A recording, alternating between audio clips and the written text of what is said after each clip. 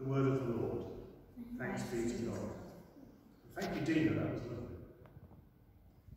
That story is about people that you don't like. The Jews and the Samaritans, they didn't like each other.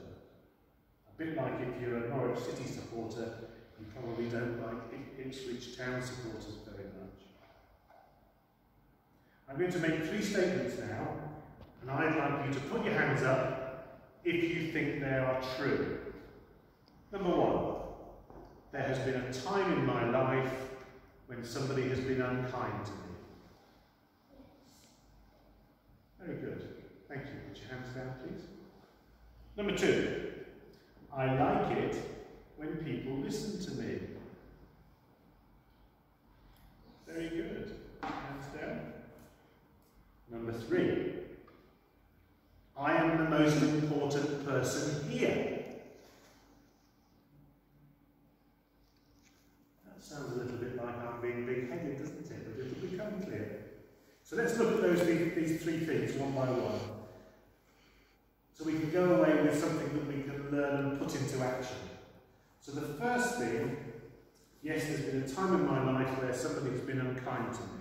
I think we should be thinking about whether there is a time where we might have been kinder to somebody else. Or maybe being kind to somebody that we find a little bit annoying.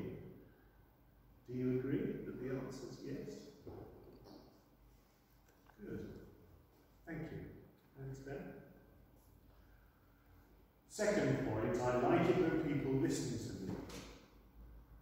I'm quite sure that other people like it when you listen to them. Maybe you could even listen to the person that sometimes you find a little bit annoying. Do you agree? Very good. The third thing, I am the most important person here. Now actually I'm not being big-headed because you are all also the most important person here. Every single one of you. If you have a look around you, can you see somebody else in the room with you? Yes, yes. they're special. Very good. They're the most important person too. Reason for all this is that God made us all. Thank you for listening. Now, I have some stars of the week to announce now. These are teacher awards, and to reward them, I'm going to send out on Monday Headmaster's Award certificates. Okay. So these go to pre-prep, Abigail, for a beautiful thank you card that she did for Nanny and Grandad to say thank you for the Easter chocolate, and saying she hopes to see them very soon. Prep 1, this goes to Georgia Spence, who has worked incredibly hard every day and has produced outstanding work, sent lovely video clips of her working, and has had such a positive attitude. Mrs Sanders is very proud of you. Prep 2. This goes to Finn, for putting in lots of effort across all of his work and a really cheerful sunflower picture for his art. Prep 3. Mr McGrain's star of the week is Dylan. For excellent work despite still recovering from an operation in hospital. Well done you. Prep 4. Mrs Donovan's star of the week is Oliver. He's produced some outstanding pieces of work and has worked incredibly hard at home. His good sense of humour is evident in lots of his assignments, which has made Mrs. Donovan chuckle quite a bit. Prep 5. Miss Harris is here, actually. My star of the week goes to Lydia for sending me some lovely photos and videos of her running, but also being really positive about her home learning and thinking of it as a really positive way to learn herself. So well done, Lydia. Thank you, Miss Harris. Mrs Bradbury's star of the week is Oscar, as engaged with every activity, he's stretched himself to do more challenging activities, and he is answering the daily questions that Mrs. Bradbury is posting about her class.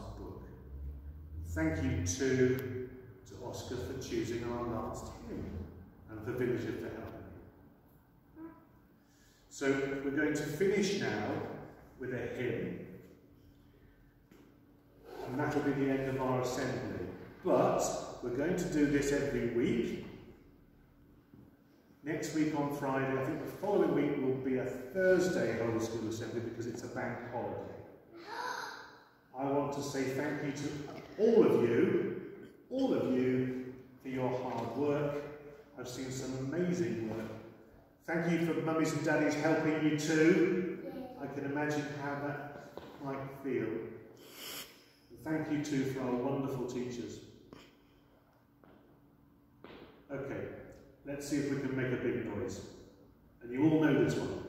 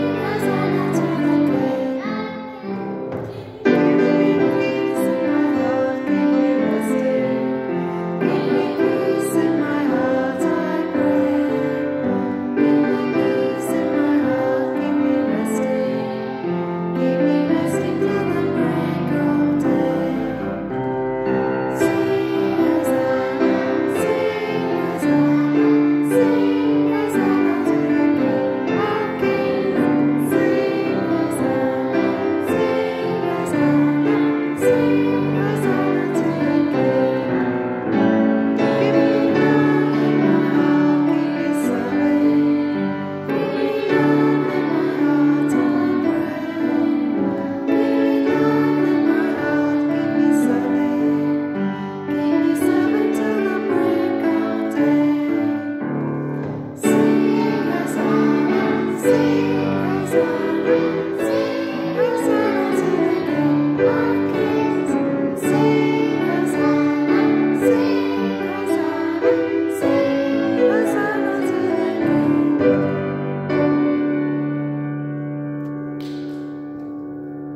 you very much. See you next week. And here's one of my favourite tunes for you.